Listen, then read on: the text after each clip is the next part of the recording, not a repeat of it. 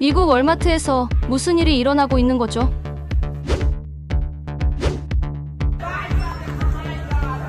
What kind of America is this? Yes, put it on Facebook. They're arresting me for trying to pay stuff for my dog. 왜 지랄들이 아침부터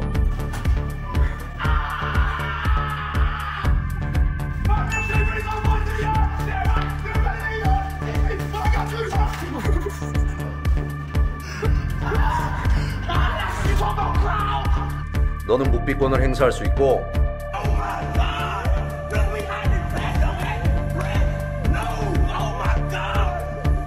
변호사는 내가 소개시켜줄게. 들어와.